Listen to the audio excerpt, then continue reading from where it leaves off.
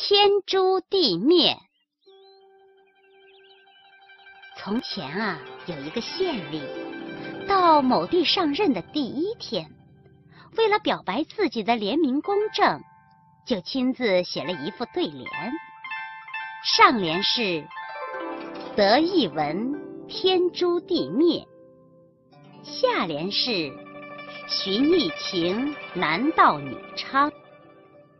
写好以后，自我欣赏了好久，就请有名的工匠用上好的木头制成了烫金的饰联，举行隆重仪式，亲手啊将对联挂在衙门两边。这件事一下子轰动了整个县城和远近乡村的老百姓，他们都纷纷前来衙门观看。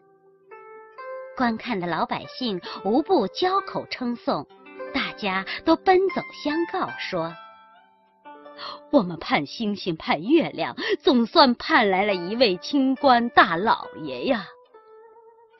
可是时间不长，这位清官大老爷就放纵豪绅恶棍，为非作歹，欺压百姓，索贿受贿，大大的超过了他的前任。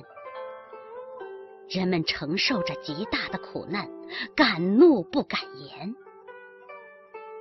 一天，有一个大胆的武夫闯进了衙门，责问这位县令说：“老爷，你难道忘了自己挂在衙门口的誓联吗？”这位县令竟然厚颜无耻地说：“没忘，我怎么能忘呢？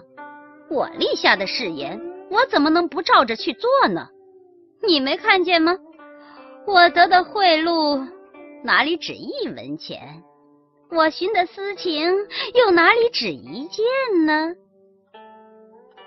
县令皱了皱眉头，又说：“哼，你不要无礼了！要不是看你是个大老粗，读不懂我的誓联的真正含义，我就要责打你五十重棍。”快滚吧！接着，几个衙役就把这位武夫赶出了衙门。小朋友们，天诛地灭就是来自这个故事。诛就是杀死的意思，意思是天杀地灭，比喻罪恶深重，为天地所不容。多用于发誓，也可以做天地诛灭。